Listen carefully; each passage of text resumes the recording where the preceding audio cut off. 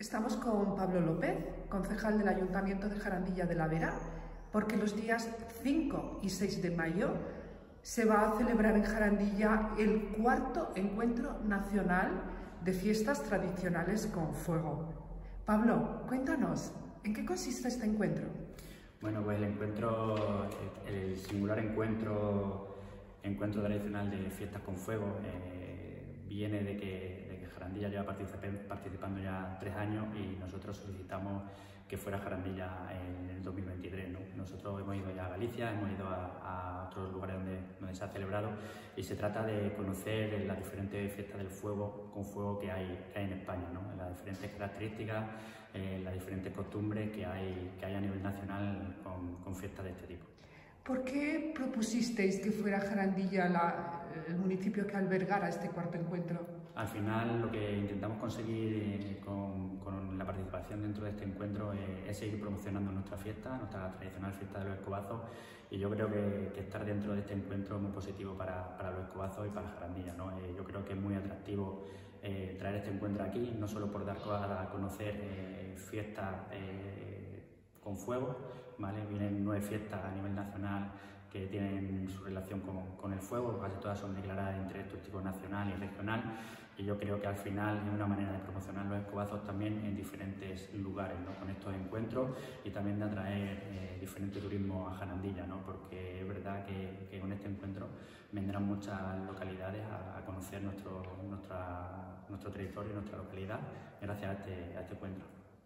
Entendemos entonces que la promoción de, los diferentes pueblos que tienen fiestas con fuego es el motivo fundamental de que se haya creado este encuentro nacional, que además nos comentabas que se quiere convertir en asociación. Sí, de hecho se está trabajando para, para crear una asociación con las diferentes fiestas del fuego. De momento se ha creado este encuentro que la verdad es que es muy curioso porque todas las localidades y, toda, y todas las fiestas van a hacer una representación aquí en Jarandilla de cómo son sus tradiciones y la verdad es que yo creo que va a ser bastante vistoso para, para el visitante y para todo aquel que quiera conocer las diferentes fiestas del fuego, que al final todas tienen su curiosidad, como por ejemplo el del cobazo. ¿no? Eh, yo he tenido la oportunidad de, conocer más de, una fiesta del fuego, ¿no? porque gracias a, a, a nuestros amigos de Mayorga que hacen el Vito, eh, hemos sido hemos sido incluidos en este encuentro y, he podido disfrutar junto con, Almudena, Elena o Ángel, que hemos ido a, conocer esa fiesta y al final ellos también han conocido los escobazos ¿no? Eh, fuera de este encuentro y lo que se trata es eso, de que gente eh, conozca y siga conociendo el escobazo. ¿Cuántas localidades participan? Eh, nueve.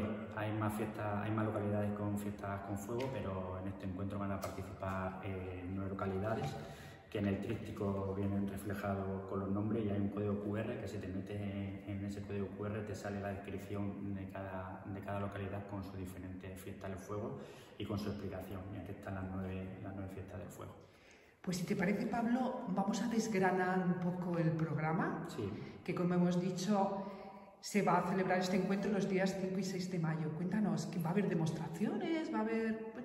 La verdad es que un, un fin de semana y ese fin de semana eh, tenemos varias actividades en nuestra localidad y yo creo que va a estar bastante bien y el programa es, demasiado completo ¿no? porque al final también hemos pedido colaboración a Diputación y a, la Junta de Extremadura y han colaborado con, nosotros para realizar un amplio programa que está bastante completo. Empieza el viernes con una presentación oficial en, el Parador, eh, que incluso viene diputado de, de la Diputación Cáceres, Álvaro Sánchez Cotrina, que es el que gestiona todos los centros de interpretación y es el que, el que gestiona también eh, todas esas subvenciones que, que, hay de Diputación a todas las fiestas de interés turístico regional.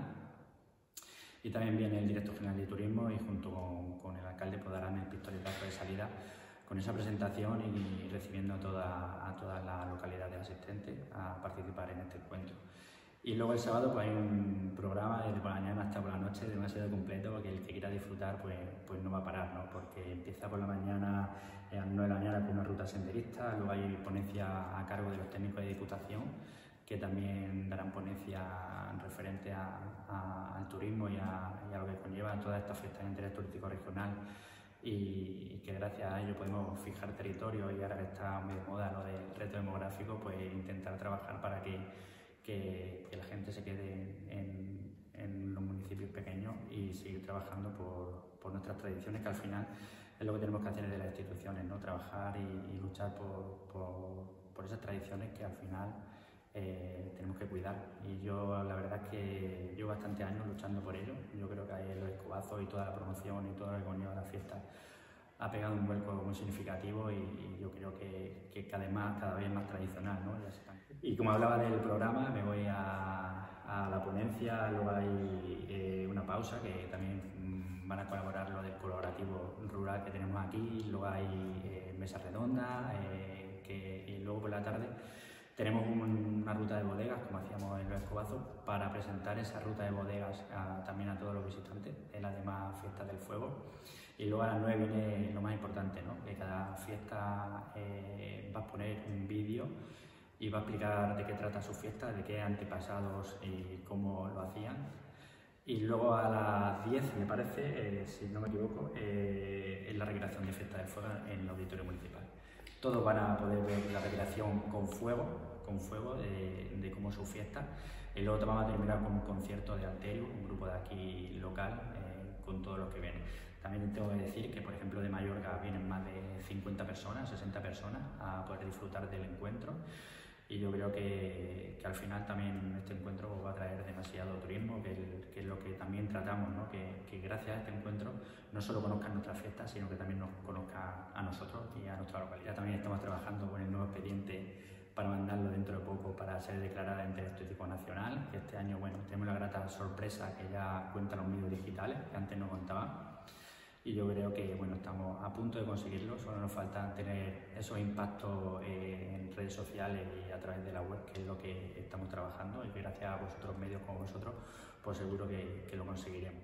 Creo que también el, el, sábado se presenta el nuevo cartel de los escobazos del me, me queda lo más importante porque al final encima es una cosa que presento yo y presentamos, aprovechamos el encuentro para presentar, para presentar el cartel de los escobazos 2023 que el autor es Mario Moreno, eh, encima de, de, aquí cerquita.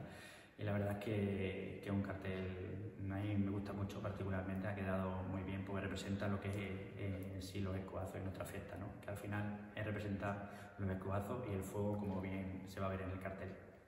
Coincidimos contigo que la foto ganadora es preciosa. Coincide además eh, este fin de semana con No Solo Circo, ¿no? Sí, ese fin de semana tenemos, la verdad es que Jarandía tiene un amplio catálogo y un amplio, una oferta cultural y deportiva casi todos los fines de semana del año.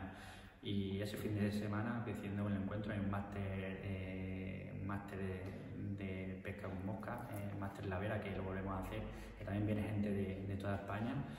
Y el No Solo Circo, el, circo, el Festival de No Solo Circo, el Festival Contemporáneo, que ya llevamos muchos años trabajando con ello y, yo creo que son tres eventos que, a nivel nacional que van a estar en ese fin de semana.